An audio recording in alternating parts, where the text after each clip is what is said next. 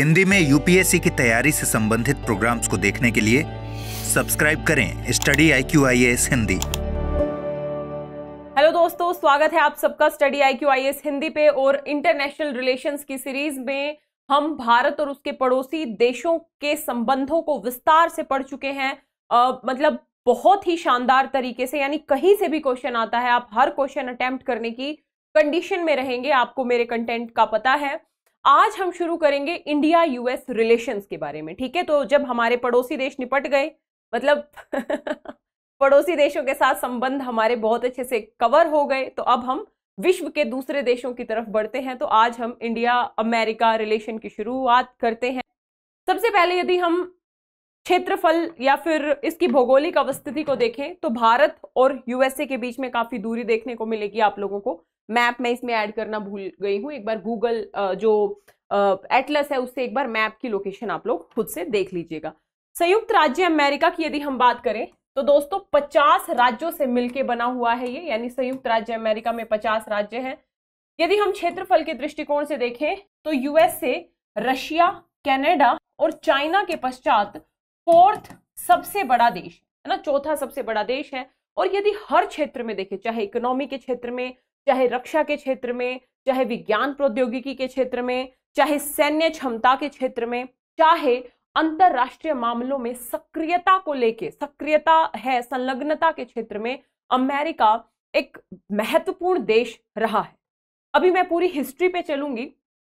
आप लोगों को इस बात का ज्ञान होगा, मैंने पहले भी पढ़ाया है कि 1945 के बाद विश्व में द्विध्रुवीयता की शुरुआत हुई। यानी विश्व के दो ध्रुव थे। एक तरफ़ यूएसएसआर एक तरफ़ यूएसए है ना? भारत किसी भी गुट में शामिल नहीं हुआ, भारत नैम की तरफ़ चला गया, वो एक अलग बात है।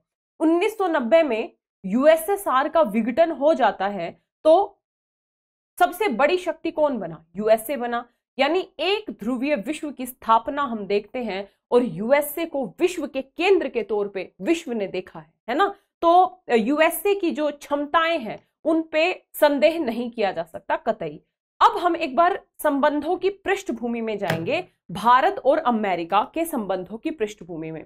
तो दोस्तों आपको आज जो इंडिया और अमेरिका के संबंध देखने को मिल रहे हैं काफ़ी सकारात्मक दिशा में मैं अभी सहयोग के क्षेत्रों की डिटेल से बात करूँगी आ, ये संबंध हमेशा से ऐसे नहीं रहे हैं। भारत और यूएसए के संबंधों में भी हमें उतार चढ़ाव देखने को मिला। 1947 से पहले की तो हम बात करेंगे नहीं, क्योंकि 1947 से पहले हमारे देश पे ब्रिटिश शासन था, है ना? तो हमारी कोई स्वतंत्र विदेश नीति नहीं थी। यदि हम 1947 के बाद की बात करें तो अभी मैंने बताया विश्व दो गुटों में बटा था, एक तरफ़ था। ये मैं सब पढ़ा चुकी हूँ, बस एक बार क्विक रिवीजन के लिए। एक तरफ़ था यूएसएसआर और एक तरफ़ था यूएसए ठीक है? लेकिन भारत ने ना इस गुट में शामिल होना गवारा समझा, ना इसमें, बल्कि भारत ने गुट निरपेक्ष आंदोलन के माध्यम से गुटों से निरपेक्ष रहने की नीति अपनाई। इसलिए भारत के साथ अमेरिका के संबंध 1947 के बाद से बहुत बेहतरीन नहीं थे। यदि हम अपने पड़ोसी देश की बात करें पाकिस्तान की तो पाकिस्तान अमेरिका के सैन्य गुट में शामिल हुआ तो पाकिस्तान के साथ अमेरिका के संबंध बेहतरीन थे। और यहाँ से भी आपको एक बात समझनी चाहिए, भारत का शत्रु पाकिस्तान पाकिस्तान का मित्र अमेरिका, दोनों मित्र देश, अब मतलब समय, काल परिस्थिति के अनुसार संबंधों में परिवर्तन होता रहता है, लेकिन मैं यदि 1947 के बाद की बात करूँ, विशेष तौर पर 1950 के दशक के बाद की, जब पाकिस्तान अमेरिका के सैन्य गुट में शामिल हो गया था, उसके बाद की बात करूँ तो भारत के साथ यूएसए के संबंध यूएसए के साथ संबंध भारत के बेहतर नहीं रहे हैं। आपको अब बिल्कुल डिटेल में नहीं जाना कि किस राष्ट्रपति के काल में क्या हुआ, मेरे पास बहुत मटेरियल था।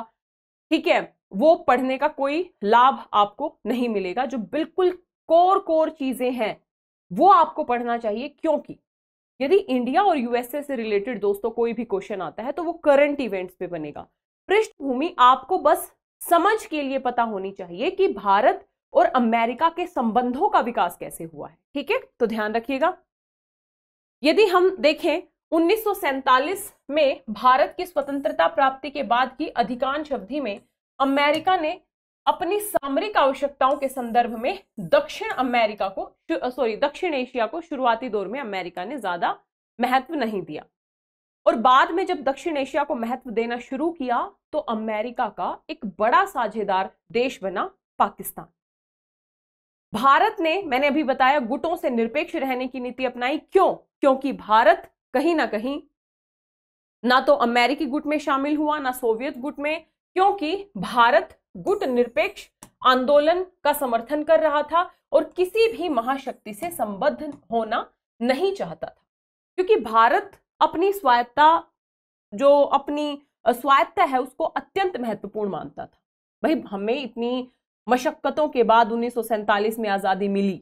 यदि हम आज़ादी के बाद भी किसी गुट से जुड़ के, जुड़ते तो हमारी आंतरिक नीतियाँ, बाह्य नीतियाँ उस गुट से प्रभावित हो सकती थी, उस महाशक्ति से प्रभावित हो सकती थी। इसलिए भारत ने एक ऐसी नीति को अपनाया कि भाई हम किसी गुट में भी शामिल नहीं होंगे ठीक है?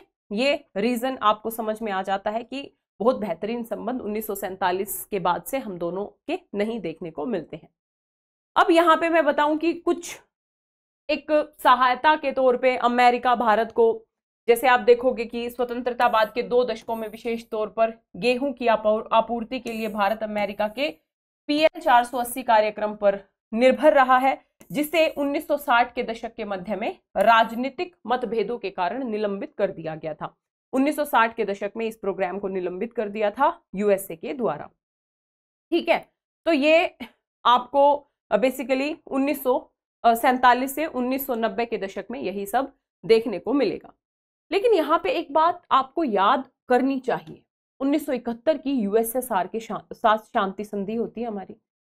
यानी हम कहने को तो यूएसएसआर के गुट में शामिल नहीं हुए, लेकिन इनडायरेक्टली एक संकेत तो था कि यूएसए के साथ हम यूएसएसआर के साथ हम शांति संधि कर रहे हैं तो हमारी निकटता यूएसए की तुलना में यूएसएसआर के साथ ज़्यादा है। है ना? 1971 की शांति संधि हुई और हर क्षेत्र में यूएसएसआर के साथ हमने सहयोग करना शुरू किया। ठीक है? तो ध्यान रखिएगा। 1960 के दशक में जब चीन रूस संबंधों के मध्य दरार गहरी हो गई थी तो अमेरिका का झुकाव चीन की ओर तथा यूएसएसआर का झुकाव भारत की ओर गहरा हो गया था और यूएसएसआर के साथ 1971 में 20 वर्षीय शांति संधि हमारी होती है।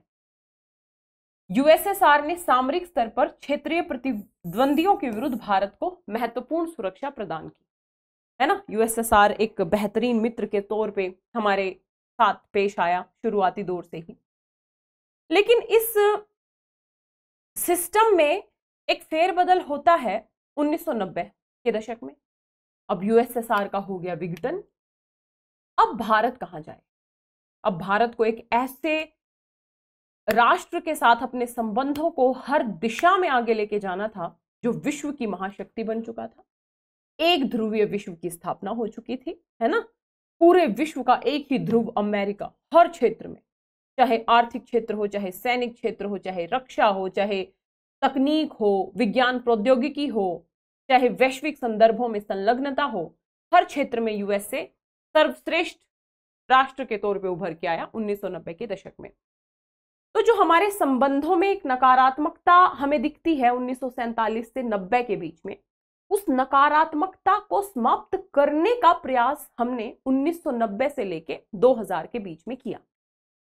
लेकिन 1990 से 2000 के बीच में भी हमें कई प्रकार के व्यवधान देखने को मिले। आपको याद होगा उन्नीस सौ अठानवे में परमाणु परीक्षण करता है भारत और परमाणु पर, परीक्षण करने पर यूएस से नाराज़गी ज़ाहिर करता है। और भारत पर कई प्रकार के सैंक्शन लगा देता है। ठीक है? तो एक बार संबंधों में फिर से हमें खटास देखने को मिलती है। लेकिन ये खटास ज़्यादा लंबी चौड़ी नहीं रहती है। उसके पीछे रीजन है। 2000 में अमेरिका के राष्ट्रपति भारत की यात्रा करते हैं और भारत को एनपीटी पे हस्ताक्षर करने के लिए मनाने का प्रयास करते हैं। लेकिन भारत का शुरुआती दौर से ही स्टैंड ये रहा एनपीटी को लेके, परमाणु अप्रसार संधि को लेके। ये संधि विभेद पूर्ण है भेदभावपूर्ण संधि है।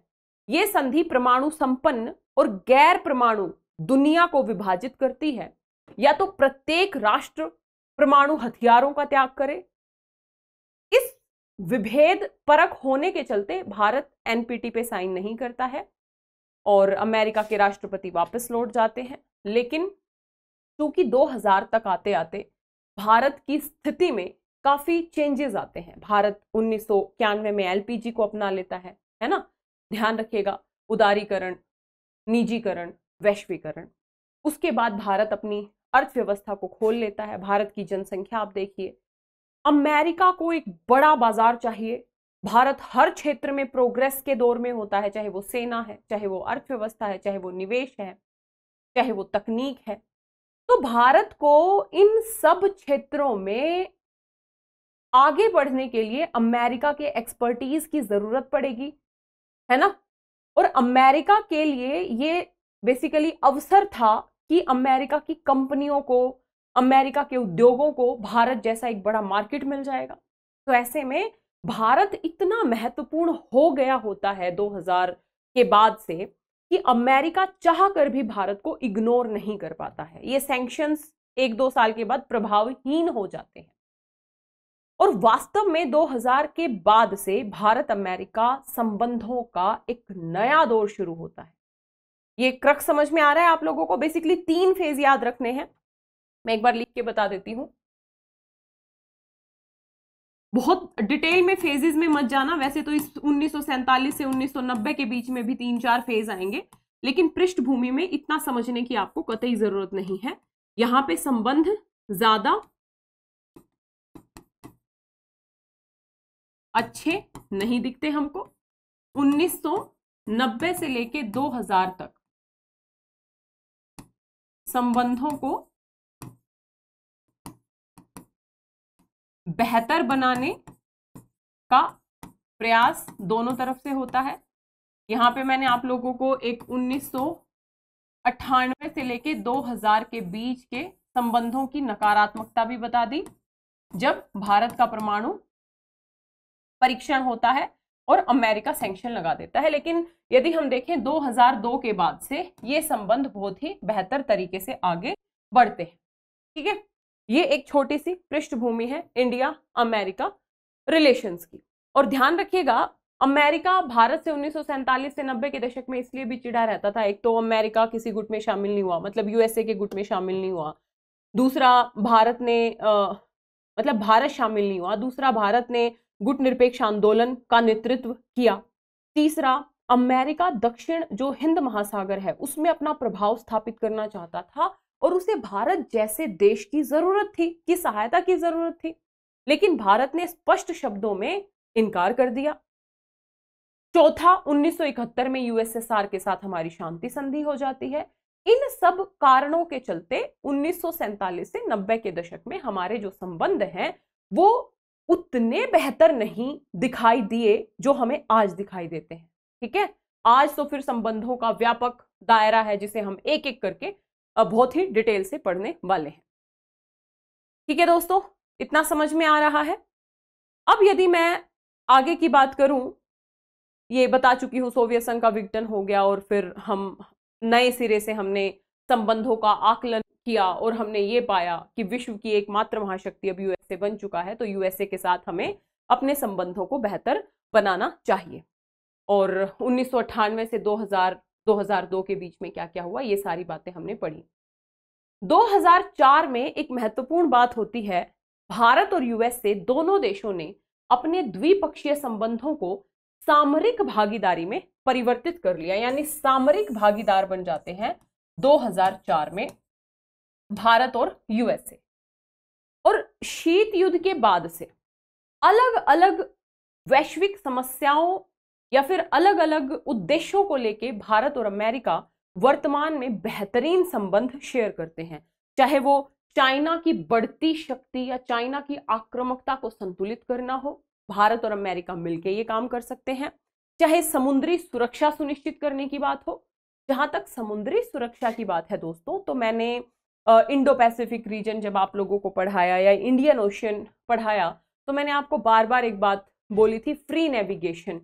है ना, की बात करता है यूएसए और भारत। तो ऐसे में समुद्री सुरक्षा को सुनिश्चित करने के लिए भी दोनों देश बेसिकली समानांतर तौर पे सहयोग कर रहे हैं।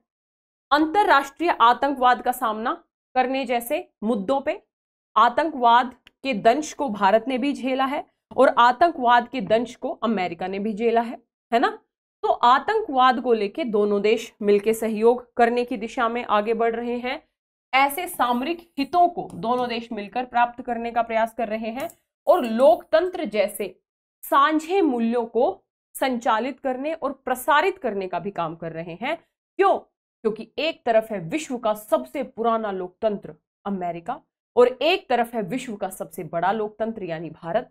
तो हमारी विचारधारा राजनीतिक मुद्दों पे जो हमारी सोच है, डेमोक्रेसी है इन सब मामलों में भी भारत और अमेरिका स्वाभाविक मित्र जान पड़ते हैं, ठीक है? तो इन सारे मुद्दों को लेके वर्तमान में भारत और यूएसए अपने संबंधों को शेयर करते हैं। यहाँ तक समझ में आ गई? 2004 तक ये हुआ। अब होता है 2005 में एक बड़ा, बड़ी घोषणा होती है। ध्यान रखिएगा, द्विपक्षीय असैन्य समझौते पर अपने मंतव्य की घोषणा करते हैं यूएसए कि भाई द्विपक्षीय जो परमाणु असैन्य समझौता है, वो भारत के साथ करेगा। ध्यान रखिएगा, परमाणु असैन्य समझौता करने के लिए क्राइटेरिया होता है कि एनएसजी का मेंबर होना चाहिए। भारत एनएसजी का मेंबर भी नहीं है।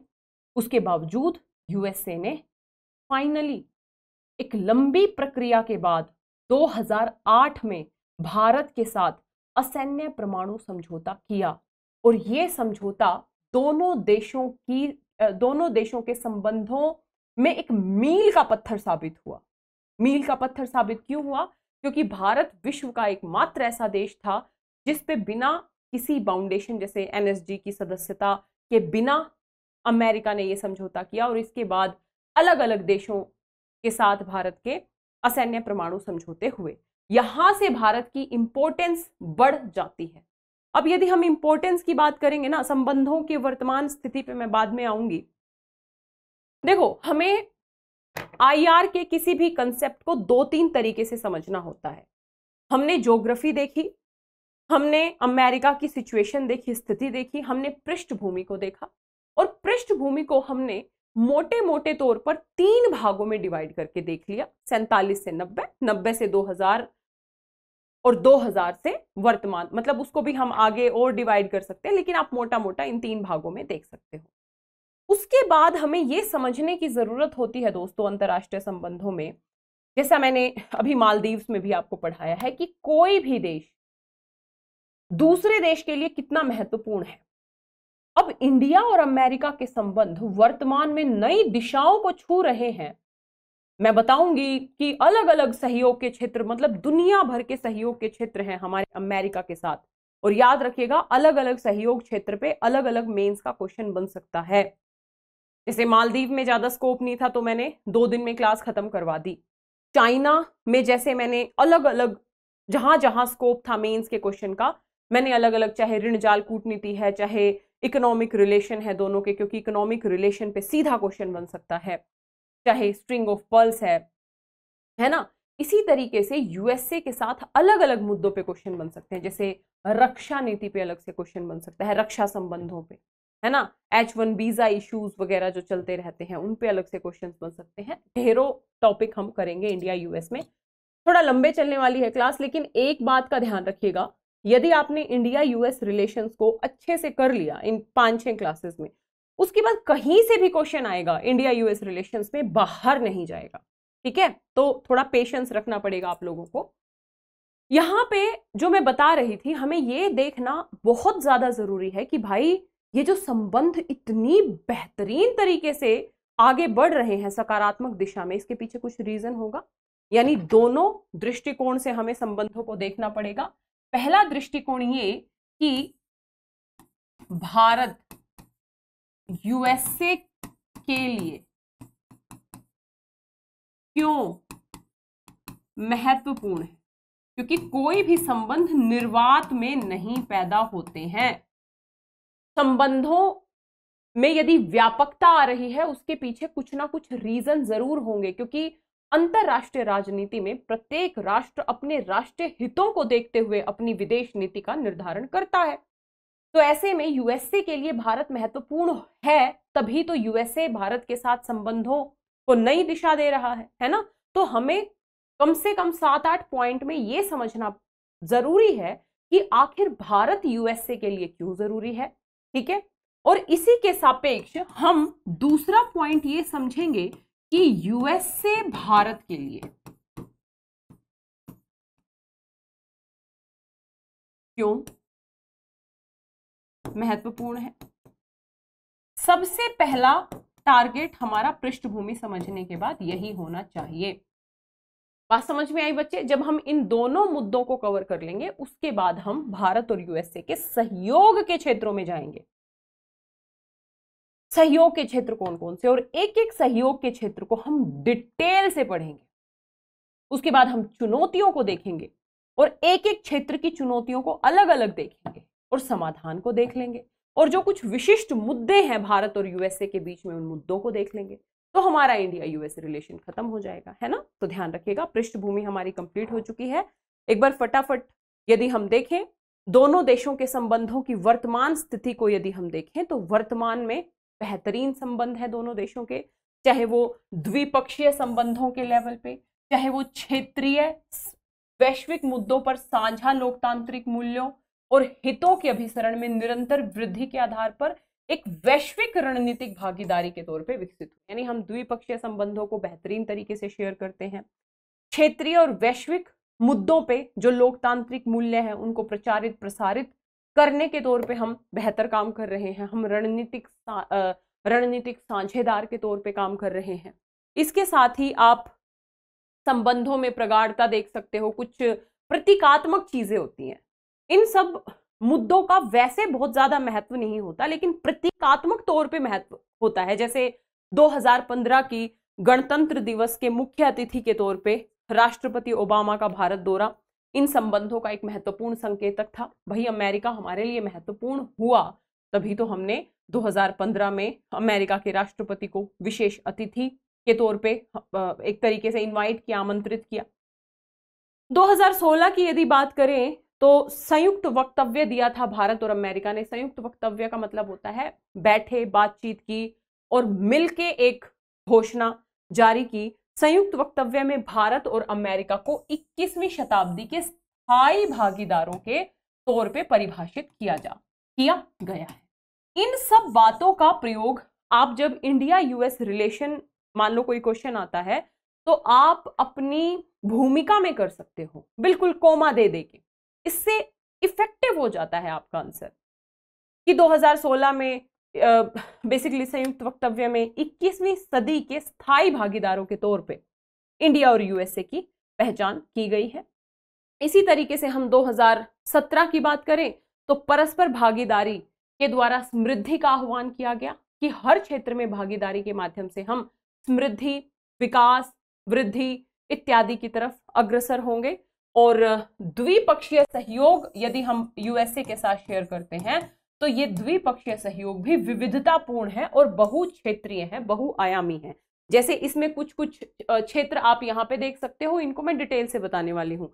जैसे व्यापार और निवेश के लेवल पे हम क्या कर रहे हैं, रक्षा और सुरक्षा के क्षेत्र पे हम क्या कर रहे हैं, शिक्षा, विज्ञान मतलब इनको अलग अलग भी लिख सकते हो, शिक्षा के क्षेत्र में क्या कंट्रीब्यूशन है, क्या सहयोग के क्षेत्र हैं दोनों देशों के विज्ञान और प्रौद्योगिकी के क्षेत्र में क्या सहयोग के क्षेत्र हैं दोनों देशों के? इसके अलावा साइबर सुरक्षा में, उच्च प्रौद्योगिकी में, असैन्य परमाणु ऊर्जा में, अंतरिक्ष प्रौद्योगिकी और अनुप्रयोग में दोनों देश ये हर लेवल पे सहयोग के क्षेत्र शेयर करते हैं। तो आपको ये जो द्विपक्षीय संबंध दिख रहे हैं, ये बहुआयामी है, ये बहुक्षेत्रीय है, विविधतापूर्ण है, ऐसा तो नहीं है कि हम कुछ ही चुनिंदा क्षेत्रों में काम कर रहे हो। आपको कोई भी क्षेत्र अगर दिखे, हर क्षेत्र में हम यूएसए के साथ मिलके संबंधों को आगे बढ़ा रहे हैं। चाहे वो स्वच्छ ऊर्जा हो, पर्यावरण हो हेल्थ हो एजुकेशन हो एग्रीकल्चर हो इंडस्ट्री हो साइबर सिक्योरिटी हो और पीपल टू पीपल कनेक्ट हो, नागरिकों से नागरिकों का संवाद हो। तो इन सब क्षेत्रों में हम बेसिकली अमेरिका के साथ अपने द्विपक्षीय संबंधों को शेयर करते हैं। ये हो गई अमेरिकी भारत और अमेरिका संबंधों की पृष्ठभूमि। ठीक है? तो यहाँ तक मेरे हिसाब से आप लोगों को कोई दिक्कत नहीं आई होगी। एक बात ध्यान रखिएगा दोस्तों, मैं यहाँ पे ना काफ़ी विस्तार से आपको बता बता सकती थी, उन्नीस सौ सैंतालीस से बेसिकली uh, 1955 तक क्या हुआ? 55 से 60 तक क्या हुआ? अमेरिका के कौन से राष्ट्रपति आए? उन्होंने भारत के संदर्भ में क्या नीतियाँ अपनाई? लेकिन आपको वो सब कुछ काम नहीं आएगा। आपको एक बेस पता होना चाहिए। देखो पृष्ठभूमि ज़रूर पता होनी चाहिए। मैं हर क्लास में पृष्ठभूमि करवाती हूँ।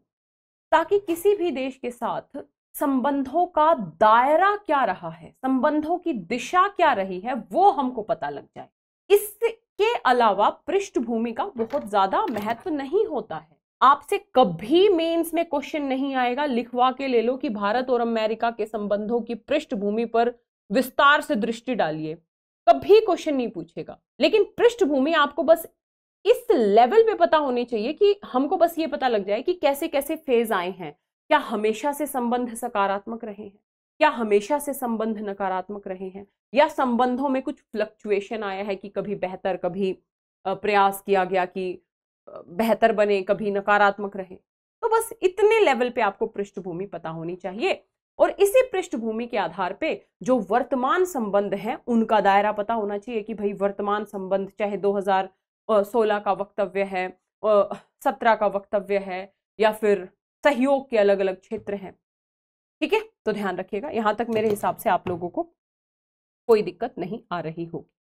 अब अगला मुद्दा हम उठाएँगे, जो मैंने अभी दो इशू बताए थे ना, अब हम एक एक करके एक दूसरे देश का महत्व देखेंगे एक दूसरे देश के लिए। जैसे सबसे पहले मैं बताऊँगी कि अमेरिका के लिए भारत क्यों मायने रखता है? आखिर अमेरिका क्यों प्रयासरत है भारत के साथ संबंधों को बेहतर बनाने के लिए? चाहे 2005 का असैन्य परमाणु समझौता हो, चाहे अलग अलग रक्षा समझौते हो पीपल टू पीपल कनेक्ट हो, है ना? हर क्षेत्र में संबंधों को बेहतर बना रहे हैं भाई। कुछ ना कुछ तो लॉजिक होगा। तो एक एक करके हम पॉइंट वाइज देखेंगे कि आखिर भारत यूएसए के लिए क्या मायने रखता है? भारत यूएसए के लिए क्यों महत्वपूर्ण है? ठीक है? ध्यान रखिएगा, सबसे पहली बात यदि मैं कहूँ कि दोनों देशों मतलब भारत यूएसए का एक अपरिहार्य भागीदार है, क्योंकि भौगोलिक दृष्टि से अमेरिकी राष्ट्रीय हितों के लिए दो सबसे तात्कालिक समस्याग्रस्त क्षेत्रों के नज़दीक बैठता है भारत। यदि आप मैप की बात करो तो ये है इंडिया, यहाँ पे है पाकिस्तान, ठीक है, यहाँ पे है ऊपर अफ़गानिस्तान लैंड लोक है, और यहाँ से ईरान, इराक से शुरू होते हुए यहाँ पे आपका आ जाता है मिडल ईस्ट, ठीक है। अब अमेरिका के लिए ये क्षेत्र महत्वपूर्ण है क्यों? तेल प्लस अन्य संसाधनों के दृष्टिकोण से ये क्षेत्र भारत सॉरी अमेरिका के लिए महत्वपूर्ण है। अफ़गानिस्तान अमेरिका के लिए महत्वपूर्ण रहा है। ध्यान रखिएगा, अमेरिका, इंडिया और अफ़गानिस्तान रिलेशंस में मैंने डिटेल से चर्चा की है। इस पे एक बार छोटा सा क्रक्स बता देती हूँ ताकि आप लोगों को याद आ जाए। यूएसएसआर ने 1979 में अफ़गानिस्तान के ऊपर हमला बोला और अमेरिका को ये डर बैठ गया कि यदि अफ़गानिस्तान तक यूएसएसआर की पहुँच आ जाती है तो दक्षिण हिंद इस रीजन पे यूएसएसआर अपना प्रभाव स्थापित करने का प्रयास करेगा। तो अमेरिका ने बेसिकली यूएसएसआर की सेनाओं को खदेड़ने के लिए अप्रत्यक्ष तौर पे अपनी भूमिका निभानी शुरू की। यानी अफ़गानिस्तान की लोकेशन ऐसी है जो अमेरिका के हितों के संवर्धन के दृष्टिकोण से काफ़ी महत्वपूर्ण है। तो ये दोनों क्षेत्र समस्याग्रस्त हैं वर्तमान में, है ना? चाहे मिडल ईस्ट ले लो अलग अलग देशों में अलग अलग समय पे दुनिया भर की समस्याएँ चलती रहती हैं। अफ़गानिस्तान तो मैं डिटेल से पढ़ा चुकी हूँ, मिडल ईस्ट अभी बचा है, उस पर आएँगे हम अच्छे से। तो ऐसे में यदि हम भारत की भौगोलिक स्थिति देखें तो अफ़गानिस्तान की बात करें, भारत की पश्चिमी सीमा पर समाप्त हो जाता है। मतलब भारत की पश्चिमी सीमा पे है। तो इस भौगोलिक लोकेशन के दृष्टिकोण से यूएसए के लिए भारत महत्वपूर्ण है। अब यदि हम दूसरे आधार पे बात करें, भारतीय भूभाग अच्छा यहाँ पे अफ़गानिस्तान और मध्य पूर्व, ये दोनों भारत के सन्निकट हैं तो भारत की भूमिका का प्रयोग कर सकता है अमेरिका, ठीक है तो भौगोलिक दृष्टिकोण से भारत का महत्व है एक पॉइंट अब दूसरा भौगोलिक दृष्टिकोण से जो भारत का महत्व है, वो है हिंद महासागर। यदि मैं हिंद महासागर की बात करूँ, मैंने कई बार बताया है तो विश्व के 50 परसेंट कंटेनर और 70 परसेंट तक जहाज़ जनित तेल और पेट्रोलियम का यातायात होता है हिंद महासागर से। और ये हिंद महासागर अमेरिका के व्यापारिक सुरक्षा, सैन्य आधार या अन्य आधारों के लिए भी बहुत ज़्यादा महत्वपूर्ण है। और दूसरी चुनौती चाइना है दोनों देशों के बीच में। चाइना की आक्रामकता और चाइना की बढ़ती उपस्थिति को भी रोकना है अमेरिका को। तो ऐसे में कौन सा देश अमेरिका के साथ सहभागी तौर पे काम कर सकता है, जिसके लिए, जिन दोनों देशों के लिए एक बड़ी चुनौती हो चाइना?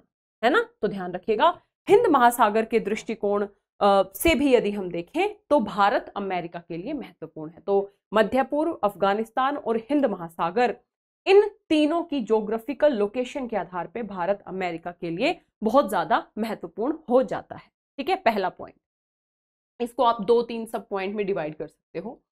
अगली बात यदि मैं कहूँ तो भारत की बढ़ती राष्ट्रीय क्षमताएँ अमेरिका के लिए अपने राष्ट्रीय हितों को आगे बढ़ाने का एक अवसर प्रदान करती हैं। भारत आज विश्व की सबसे बड़ी अर्थव्यवस्थाओं में शुमार होने की कगार पे है।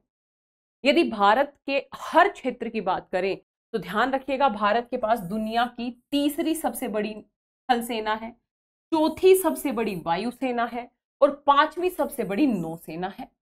और इन तीनों सेवाओं का आधुनिकीकरण हो रहा है है ना? थल सेना वायुसेना और नौसेना।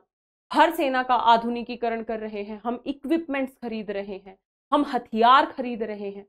तो ऐसे में अमेरिका के पास एक अवसर है अपने हथियारों को बेचने का, अपनी तकनीकों को शेयर करने का, है ना? तो एक बड़ा बाज़ार सिद्ध होता है भारत अमेरिका के लिए। भारतीय वायुसेना और नौसेना के पास विश्व स्तरीय तकनीक संसाधन है और इनकी सेना उसमें से अधिक की तलाश कर रही है, यानी हमें यदि तकनीक, हथियार, संसाधन चाहिए तो हम यूएस दोनों पैरेलल है ये। हमें तकनीक चाहिए, हथियार चाहिए तो हम, हमारे लिए यूएसए इंपॉर्टेंट हो गया। उन पॉइंट्स की बात मैं अलग से करूँगी। लेकिन यहाँ पे मैं यूएसए के लिए भारत क्या मायने रखता है, उसको देखूँ तो यूएसए की कंपनियों को एक बड़ा बाज़ार मिल सकता है ना भाई? मिल ही रहा है।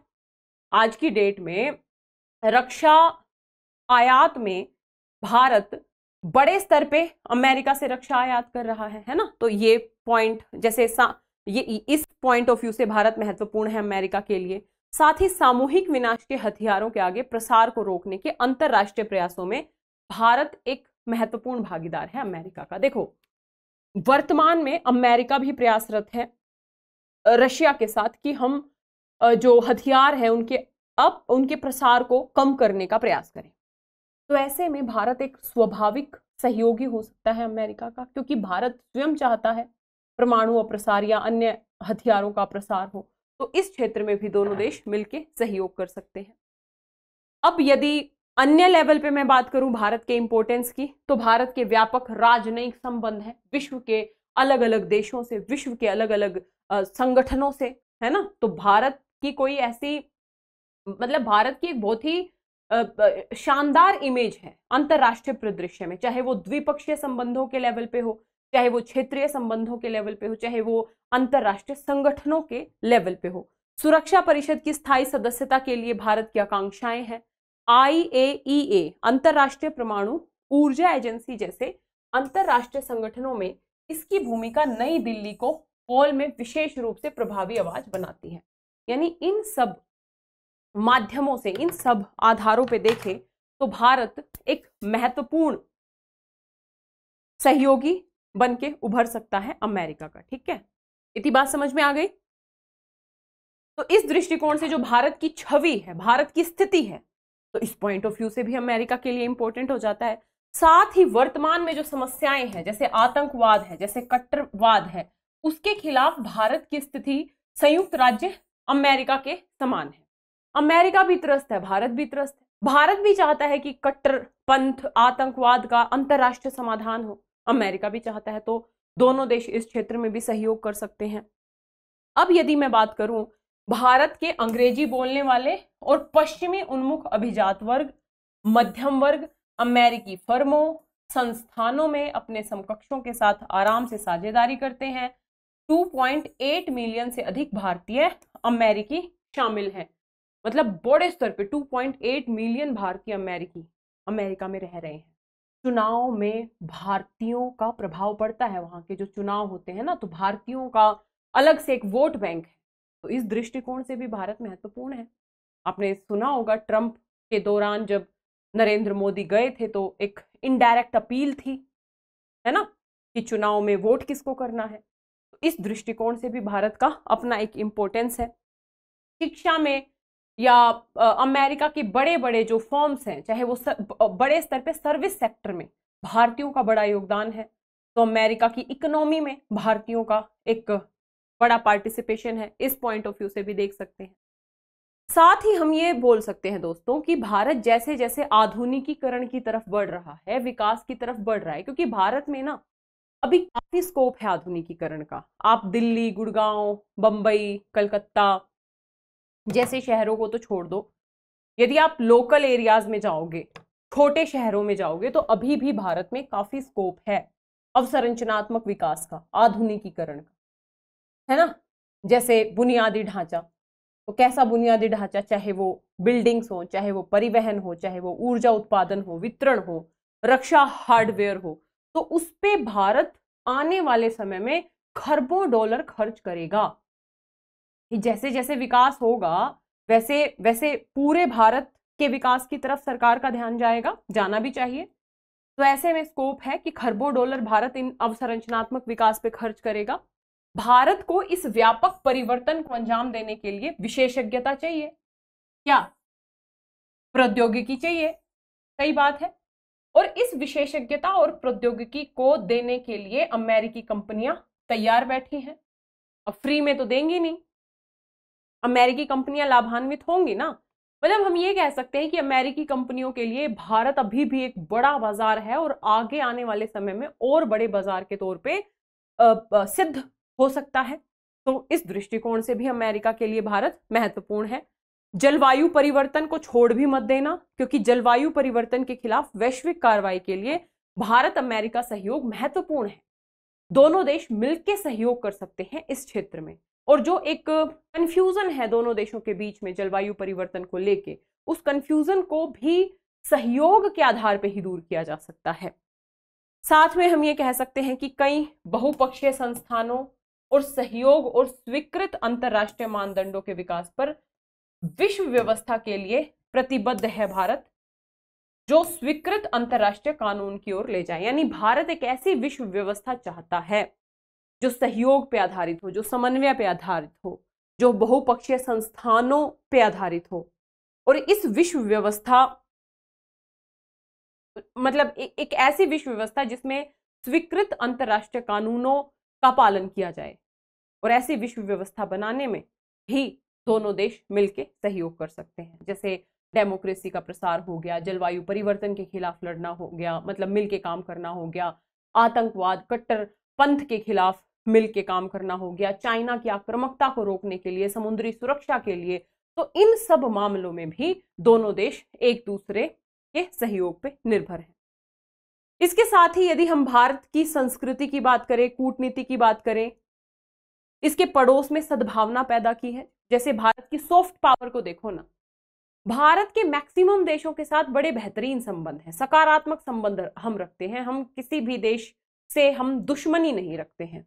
हमारी सॉफ्ट पावर के चलते आप किसी भी कंट्री का एग्ज़ाम्पल लो, चाहे मध्य पूर्व के देशों का, चाहे मध्य एशिया के देशों का, चाहे दक्षिण पूर्व एशिया यानी आशियान के देशों का, चाहे ब्राज़ील हो, दक्षिण अफ्रीका हो, जापान हो, दक्षिण कोरिया हो, उन सभी देशों के साथ भारत के सकारात्मक संबंध है। और ये सभी संयुक्त राज्य अमेरिका के लिए रणनीतिक तौर पे महत्वपूर्ण है। यानी जो क्षेत्र अमेरिका के लिए रणनीतिक तौर पे महत्वपूर्ण है, उन सभी देशों के साथ भारत के अच्छे संबंध हैं तो ऐसे में भारत के साथ निकटता अमेरिका के रणनीतिक उद्देश्यों को पूरा करने की दिशा में आगे बढ़ सकती है।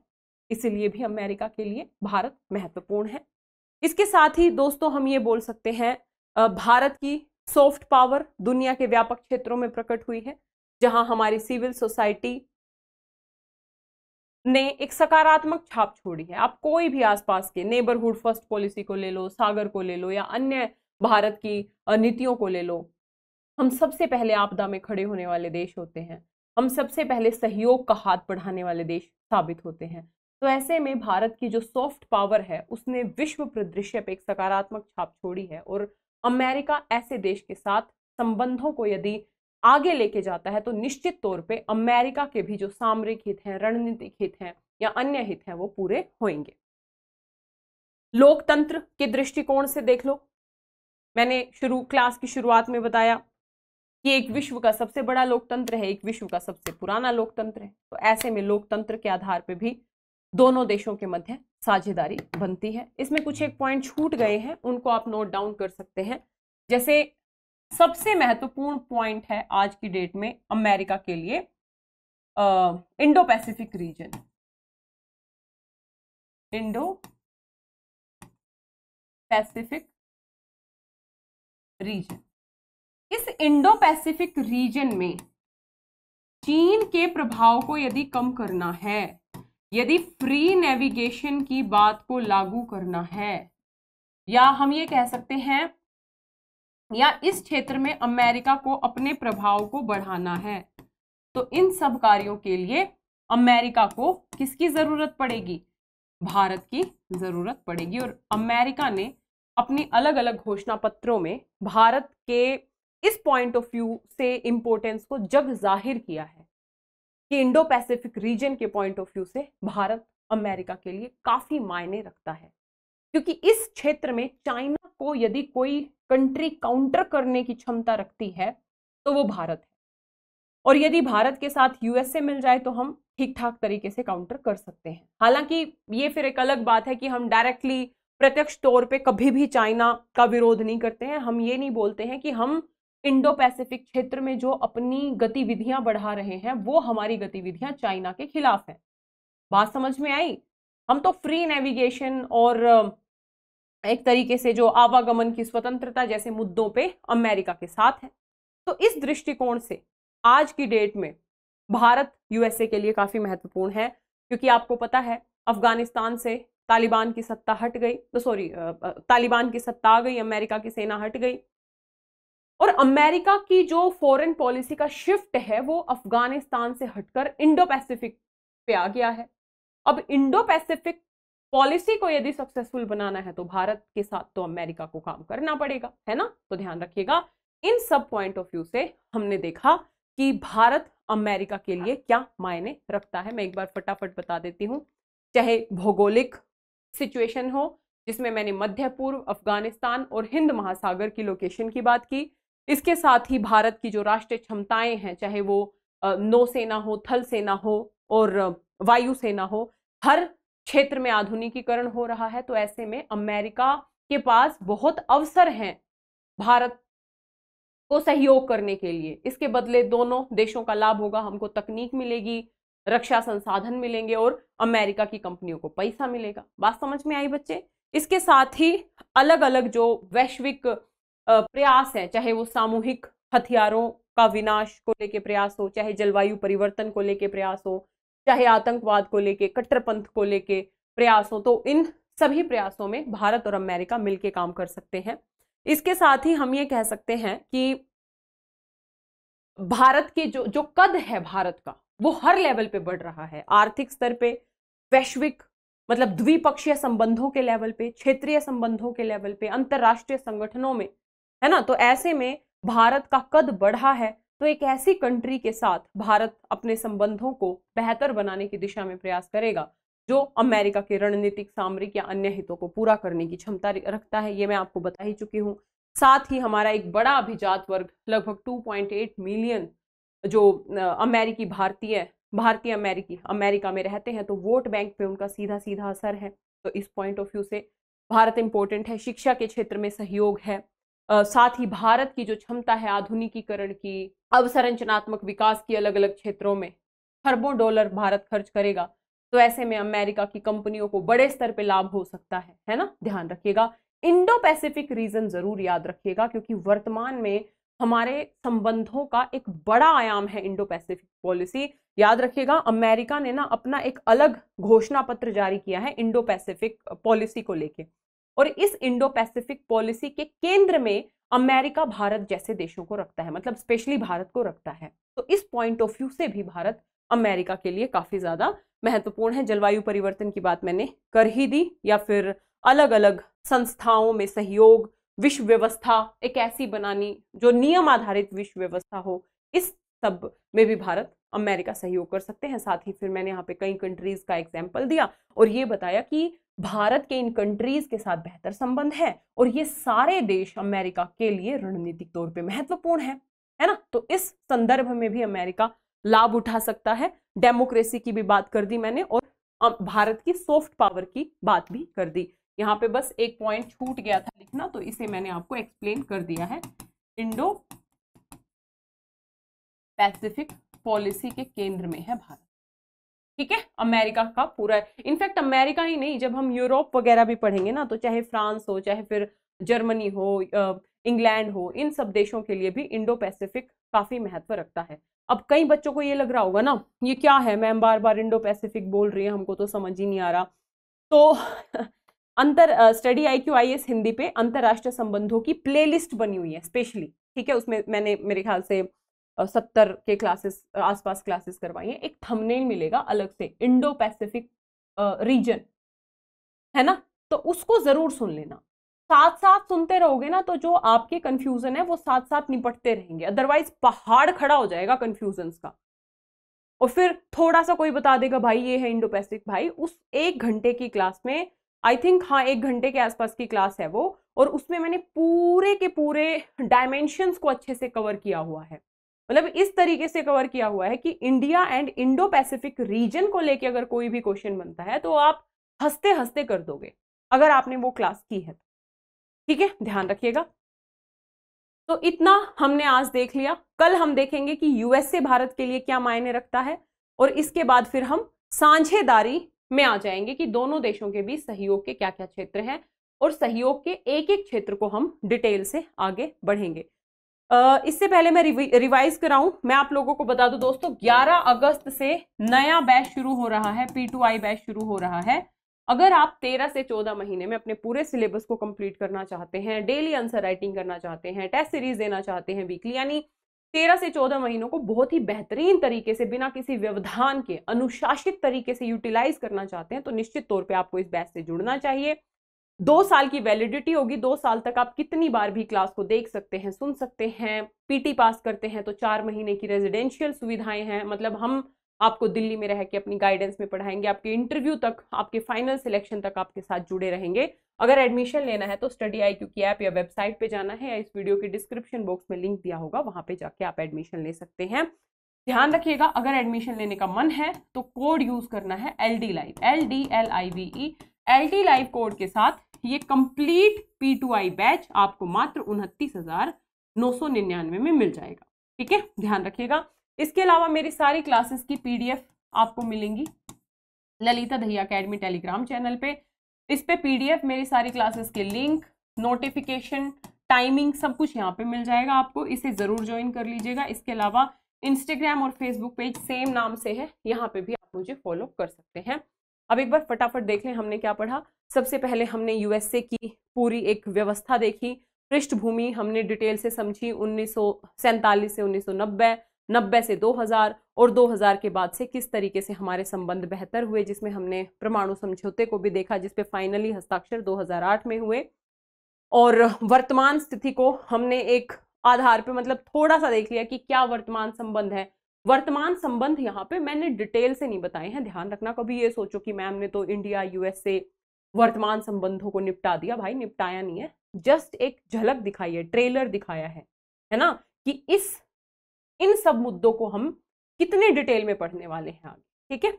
उसके बाद सीधा मैं आ गई थी, अमेरिका के लिए भारत क्यों मायने रखता है? ये बहुत इंपॉर्टेंट सेगमेंट है।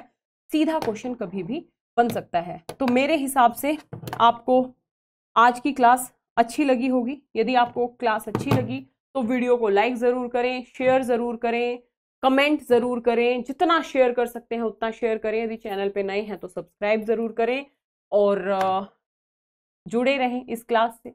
इंटरनेशनल रिलेशंस मैं पढ़ा रही हूँ तो बाहर, कुछ भी नहीं बाहर जाएगा।